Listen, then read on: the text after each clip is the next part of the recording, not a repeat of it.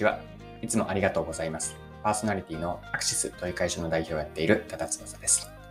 今回は何の話かというと、読書についてです。まあ、本の選び方とか読み方について掘り下げていきます。で話をしようと思ったきっかけが、私が小学生だった時に苦手だった読書感想文からなんですね。なぜ自分が読書感想文を苦手だと思っていたこと、で当時、こういう風にすればよかったなと思ったことがあって、それが今の大人になっても私自身でも読書の向き合いをを考えるきっかけになったので、ぜひ皆さんに共有したいと思いました。本の読み方、あるいは本との向き合い方も含めてですね、皆さんと一緒に掘り下げていきましょう。それでは最後までぜひお付き合いください。よろしくお願いします。はい。え今日の話はえ読書についてですで。皆さんは小学生の時に読書感想文という宿題、あの例えば夏休みとか、まあ、普段の日常ではなかったとしても、夏休みとか冬休み、こういった時に読書感想文の宿題ってえー、あったでしょうか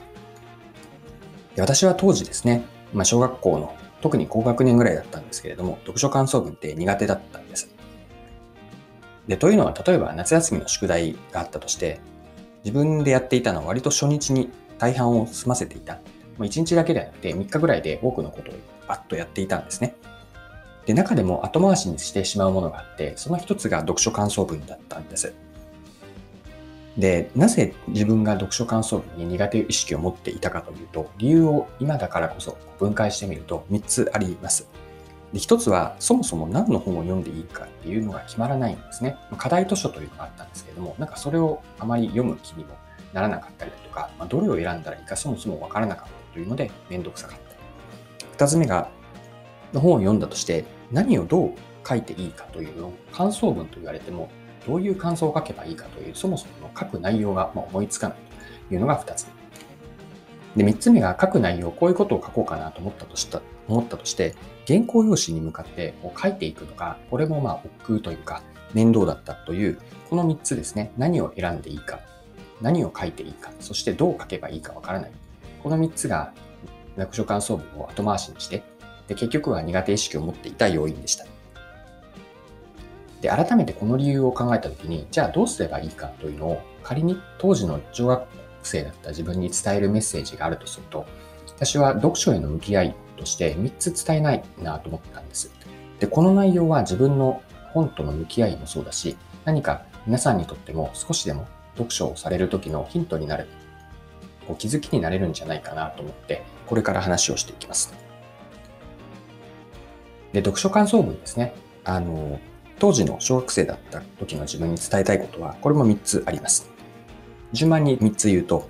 最初はいきなり原稿用紙に書かないことです。で、2つ目は、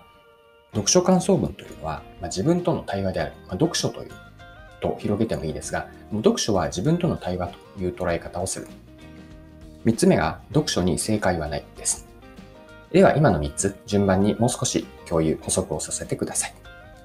はい。一つ目ですね、本との向き合い方。これは読書感想文が苦手だった当時へのメッセージとしても捉えているんですが、本との向き合い方で、えっと、これは読書感想文に限ったことにはなるかもしれませんが、原稿用紙にいきなり書き始めようとしないことです。で、改めて自分がですね、読書感想文に良い思い出がないというのは、原稿用紙にこう書き始めてもすぐに手が止まってしまうんですね。で、書くことがなくなってくるんです。で、えっと、で、なぜこれが起こっていたかというと、要するに書きながら考えている、考えていながら書きながらという考えると書くを両方並行して、まあ、いわばマルチタスクをやっていたからなんです。でそこで読書感想文を書くときに伝えたい、これは参考までに聞いていただきたいんですが、伝えこと、伝えたいことは書くことと考えること、これを分ける。そして順番があって、まず最初に考えて次に書くという、えー、っと流れがいいかなと思っています。じゃあ具体的にどうすればいいかというと、例えば本を読んで自分が印象に残ったこと、思ったこと、考えさせられたことを原稿用紙にいきなり書くのではなくて、まずはノートとか、当時小学生の時には自由帳というのがあったんですが、自由帳だとか、あるいはもう紙切れ、何かの紙、プリントの裏とかでもいいと思うんですよね。そこに書き出して、この時点ではまとまっていなくてもいいので、思ったことをすべて紙に吐き出してみるというイメージです。で、雑で全然いいと思うので、書いていて、書いていくと少しずつ整理されていきます。で、書く順番、構成ができてくるので、こう何を書くというのがあらかじめ決まってから初めて原稿用紙に向かう。これはいわば急がば回れなんですけれども、最終的に見ると、この方が最初に考えて書く。この考えると書くを分ける方が早いと。そして中身もより、うん、書きやすくなってくると思います。はい。二つ目はですね、読書感想文に限らず、こう読書一般的な話なんですけれども、読書というのは、ま、自分との対話だと捉えています。で一般的には読書は著者と本を書いた人との対話だと思うんですが、著者との対話もする一方で、何より私が大事にしたい読書体験というのが自分との対話なんです。で、これは読書感想文にもつながるんですけれども、読書感想文だったので、感想というと、例えば面白かったとか、良かった、わからなかったくらいしか言えなかったんですけれども、そうではなくて、じゃあ面白かったことというのは、なぜ自分はそう感じたのというのを自分自身に問いかける。そしてもう一人の自分が問いかけられたことに対して、これこれこういうことが面白かった。じゃあそれは何が、なんでそう思ったのという自分の中で対話のキャッチボールをするイメージです。で、これを続けていくことによって、なぜそう思ったのか、あるいは思わなかったのか、本を読んで感じたこと、思ったこと、気づきとか、うん、発見、これを掘り下げていけるんです。まあ、つまりは何をやっているかというと、本という、まあ、題材ですかね、ネタをきっかけに自分自身と会話をして、そしてこう素直に自分のことを見ていくことができる。これが読書の私は良さだと思うんです。でその結果として一つの出口に読書感想文が出てくると思うんですが、あくまで読書感想文というのは最終的なアウトプットというかツールであって、大事なのは自分が読書を通して何を感じたのか、どういう対話を自分自身とできるか、こんな読書体験をするのが私は読書の一つ醍醐味かなと考えています。はい。三つ目ですね。読書への向き合いとして、こう読み方とか本の選び方、そして思ったことに正解はないと捉えます。でこれも読書感想文の当時の小学校の5年 ,5 年生とか6年生だった自分のことを考えてみると、こういわいわゆる正解を求めていたんですね。こう正解に呪縛のようなこう縛られていました。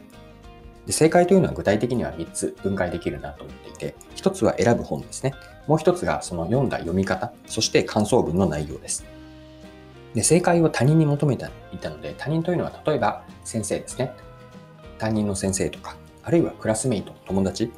で彼ら、彼女らのこう目を気にしていたんです。でこれはいわば他人の正解にこう依存しすぎている。自分がどうだったて、他人がどう思うかというのを気にしすぎていたんです。だから正直にも書けなかったし、なかなか結果として、うん、読書感想文に迎えなかった。苦手意識につながっていきました。まあ、そうではなくて、まあ、正解はないんですよね。まあ、10人いれば、10通りの、まあ、10人十色の、うん、本の選び方、読み方、そしてアウトプット。例えば読書感想文とか、今で言うとツイートをするとか、 note、ブログに書くといったようなことがあります。で、自分にしか書けないこと、これは他人がどうこうではなくて、自分がどう思ったか、なぜその本を選んだかもそうだし、本を読んでどう感じたか、それは先ほどの2つ目の対話からどうつながっていったのか、これを掘り下げることを素直にやっていけばいい。でここに何も正解はなくて、どんな読み方、どんな本を選んでも、それは自分にとっての正しさであれば、それでいいというふうに捉える。まあ、読書には正解はない。本の読み方、本の、本の選び方、読み方、そして思ったことについても正解はないです。はい、そろそろクロージングです。今回は読書の向き合いを私が当時、読書感想文が子供の時に苦手だったことを思い返して、改めて読書への捉え方、向き合い、本との付き合い方をご紹介しました。ぜひ何か